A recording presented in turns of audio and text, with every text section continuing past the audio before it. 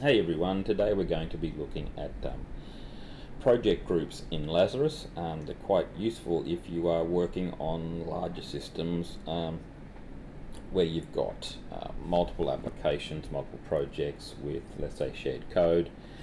Um, this feature can be a bit of a you know a real lifesaver. Um, you know when you'd like to see if you do have shared code. So the question is then what exactly is a project group?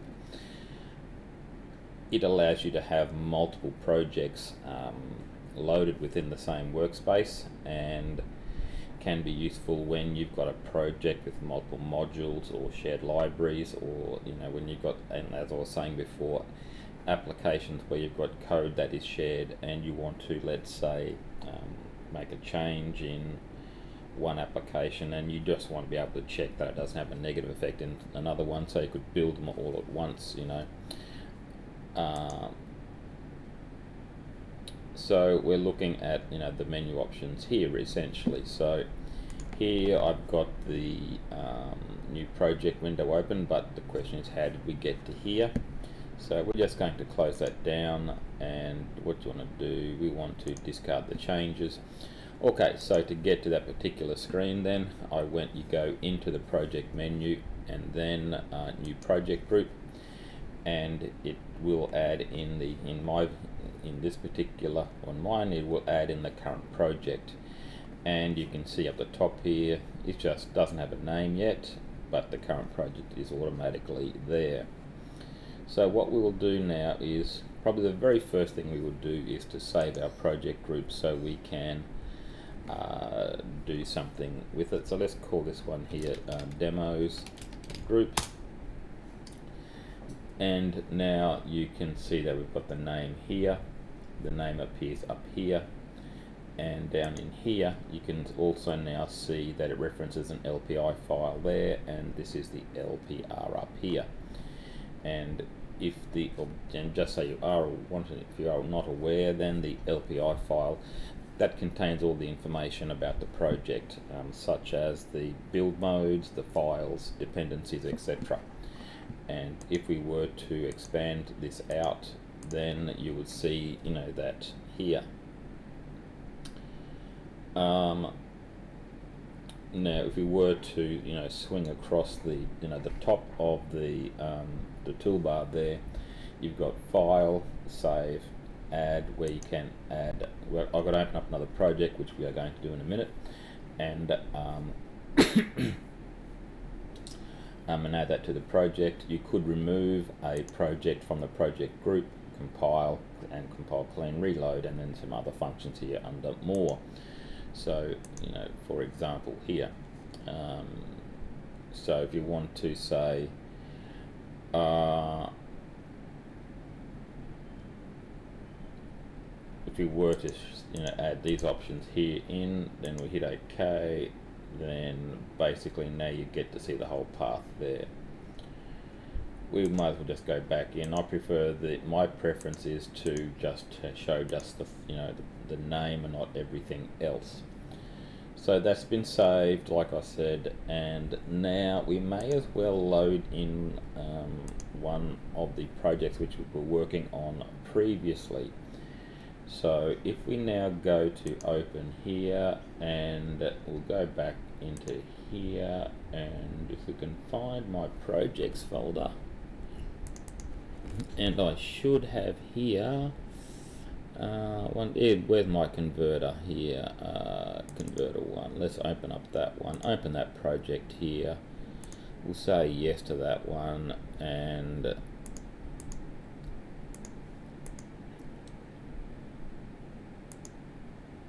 now at the moment this particular um, project is hasn't been added into the project group yet so we can now go to file add current project and now I have two projects here. I can easily switch between them by just double clicking. And ask me do I want to save it? I'll say yes.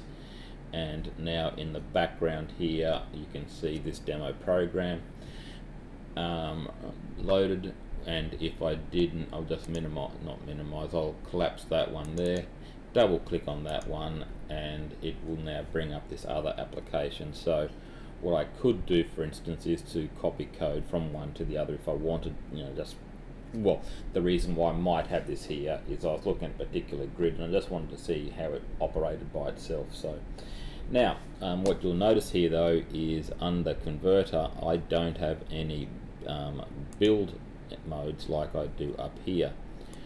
So how can we get to those? So what we can do here now is to look for the um, project options here um, go into here and look at our build modes. Um, you can see here they only have one, so if we go up to here now, I can add in the um, debug and release ones, and I hit OK there, go back, hit OK here, go into here, and then reload. Uh, we'll say yes. Uh, why didn't? Okay, let's add the current project in again and now you can see that I do have the um, the build modes now as part of this project without going uh, into too much detail here about the differences between a debug and a release one the um, the differences should be obvious whereas one will have you know let's say debug information built into the program from you know so you can um, see where things may have crashed if they did whereas a release one would be much smaller um, have all the optimizations turned on to them you know let's say to the max um, you know for a to give to a customer. The other uh, options then that you would find in the project menu are we may as well show the project inspector. So um, move that over here and we'll bring that down again a bit lower. And you can see here that similar to what you would get you know down here except for the modes. Um, you can you know see what files are in the um, project and what it requires. Click on options you know you can basically get to the project options a lot faster here than having to let's say go through the project menu you know so you could do something like change the icon or um, you know change your paths etc so here you can then see you can then you know switch between your um, modes here to wonder what that's bringing up there for. Anyway um, I'm not going to worry about that too much right now, except I'm going to get rid of it.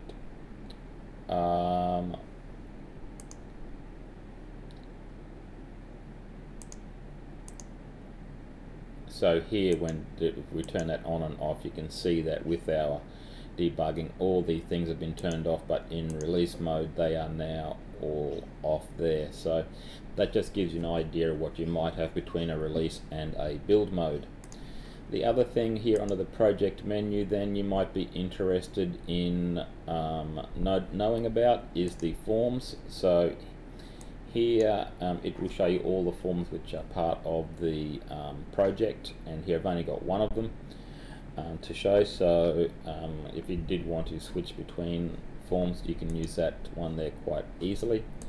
And then you also might be interested in the project source which is this is the actual LPR file here.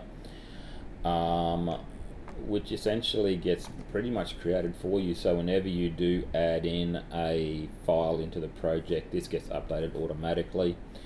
Um, I really didn't write any of that particular code there so that's pretty much all there for you.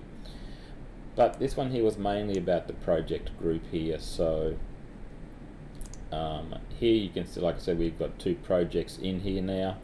You can switch between them um, it makes it easier for you to be able to um, manage multiple projects at once so um, is there anything you think I've missed?